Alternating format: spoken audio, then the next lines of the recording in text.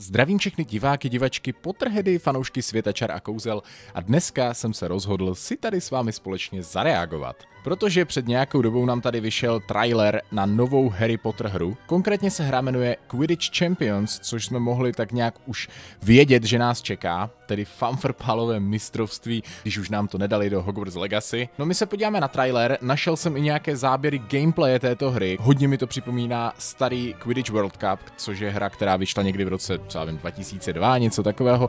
Je už hodně stará. My se podíváme na trailer, na gameplay, něco málo si k tomu řekneme, možná nahlédneme i na předobjednávku, tam možná budou nějaké informace, které by se nám mohly hodit. Nezapomeňte dát like, odběr u tohoto kanálu, pokud chcete sledovat updaty o světě čar a kouzel a samozřejmě i lore videa, což je to hlavní, co tady vychází na tomhle kanále. No a my pojďme na to. OK, tady máme první záběry z té hry a vidíme záběry i přímo z gameplaye. Vidíme nějakou první arénku, uh, tady samozřejmě tři fanfrpálové obruče nemůžou chybět, takže první informaci, kterou tady taky dostáváme, je, že nás čeká single player career mode, to znamená, že můžete hrát za vámi zvoleného hráče. Pravděpodobně si budeme moci vybrat kteroukoliv pozici.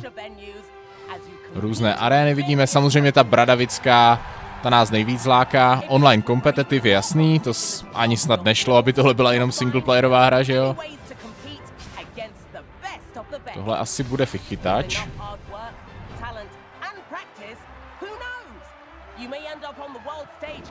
Jako ta, tahle arena vypadá fakt hezky, řekl bych, že tohle bude nějaký ten finálový zápas. Tohle vypadá, jako kdyby to bylo až připravené na nějaké finále fanfrpálové, což je dost možné, uvidíme, samozřejmě k tomu se ve hře potom všemu dostaneme. Ten trailer je hodně krátký, on nám toho moc neřekne, samozřejmě.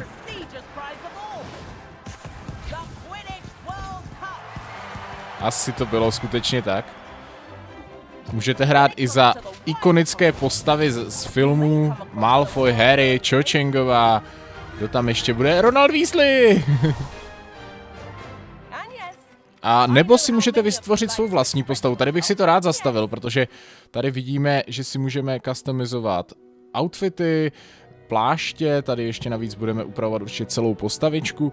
No to vypadá hezky, tady vidíte, že máme zvolenou pozici chytač, pravděpodobně můžete hrát všechny pozice, což teda bude super, protože když bych tuhle hru chtěl streamovat, tak je parádní, že si můžu dát vlastně třeba 3-4 kariéry, vlastně, že jo, můžu hrát kariéru prvé, já nevím, za chytače, za střelce a tak dále a potom zkusit prostě všechny ty pozice. Na to se dost těším, že můžu hrát všechny vlastně funkce v tomto sportu, to vypadá dobře. I ta customizace animace postav vypadá fakt pěkně, líbí se mi ten styl, je to takové cartoon, to si myslím, že k tomu docela perfektně sedí, prostě takové jako kreslené na půl. Zase vidíte milion úprav, jasně. Zase strávím na vytváření postavy půl hodiny, super, na to se těším. Je teda ale pravda, že tomu věnovali hodně času v tom traileru, jakože na to, že to je jenom funkce na začátku si vytvoříš postavu, tak tomu, tomu věnovali opravdu hodně času.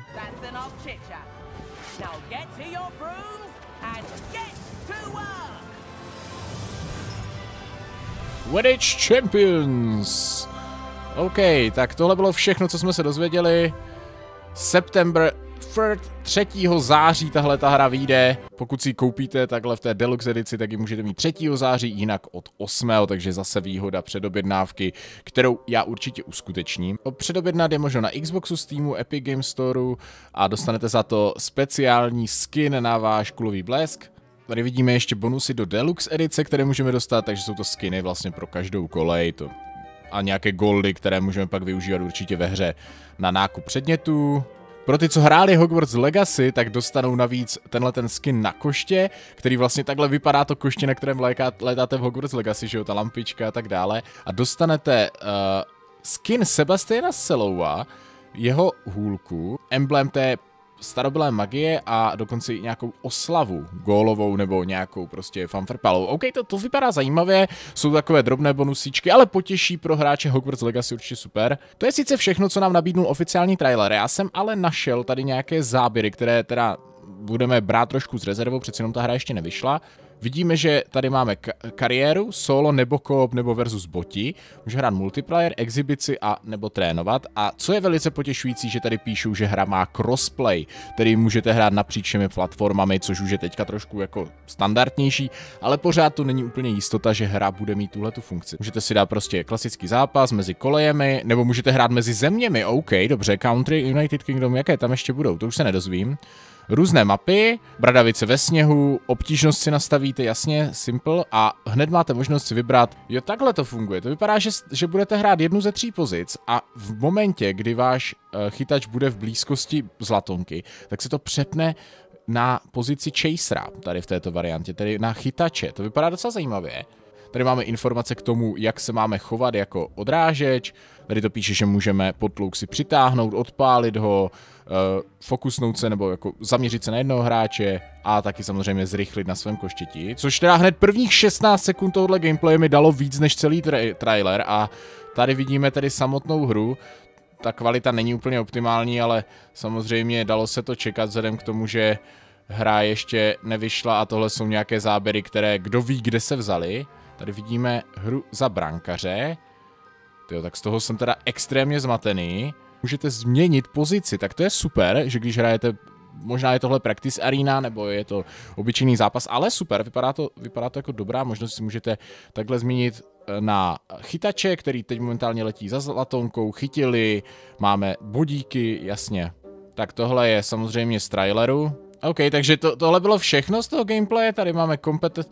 Tady to jsou zpátky záběry z traileru, evidentně.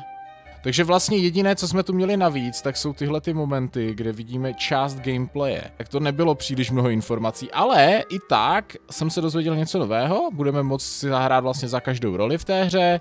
Můžeme uh, si vybrat z několika stadionů, na kterých budeme hrávat. Nevím, jestli tohle jsou všechny nebo jenom třeba v tom daném módu přístupné, ale vypadá to, že tady je klasické Bradavická arena nebo v různých variantách. Tady bude v dešti, tady bude ve sněhu pravděpodobně, plus nějaké další. Tohle bude pravděpodobně Quidditch World Cup eh, stadion a tohle vypadá na, dokonce bych řekl, na doupě bych si typnul. Nejsem si tím úplně jistý celkově tady ty čtyři vypadají tak jako venkovsky, to vypadá zajímavě. Také víme, že tam můžeme hrát buď mezi kolejemi nebo mezi zeměmi, možná tam budou i fanfrpálové kluby, které známe z příběhu.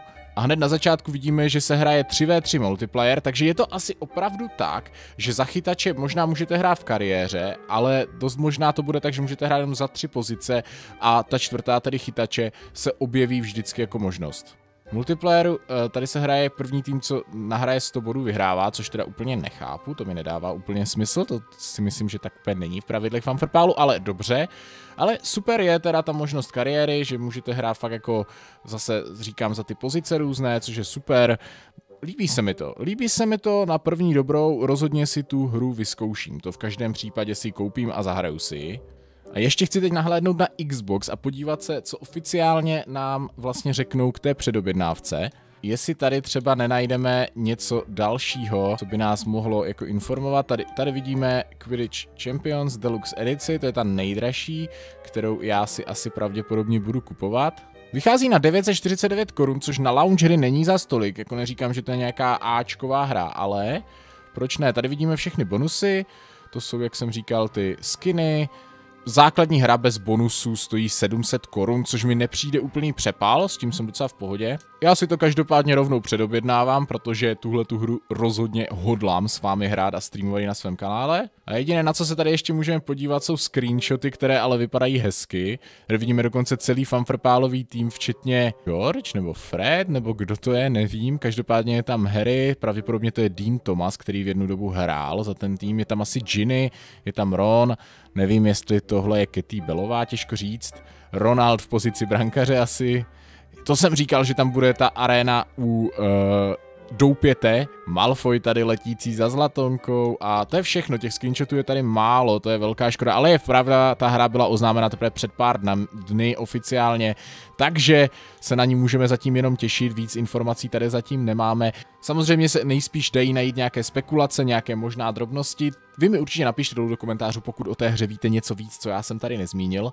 Každopádně vypadá velice dobře a zajímavě. Rozhodně si ji zahrajeme, vždyť už jsem ji koupil, a můžete se těšit tím pádem na streamy Quidditch Champions, které tím pádem můžou začít 3. září, kdy hra vychází. Rozhodně mi taky napište, co si o hře myslíte vy, jestli si ji koupíte, jestli ano, tak totiž můžeme hrát spolu, ať už máte jakoukoliv platformu. Rozhodně mi dejte vědět, pokud znáte třeba nějakou podrobnost, která v tomhle videu nezazněla. A ode mě už to bude pro dnešní video všechno, pro tuhle tu reakci. Já se s vámi loučím a doufám, že se uvidíme i u nějakého příštího videa a potom u streamu Quidditch Champions.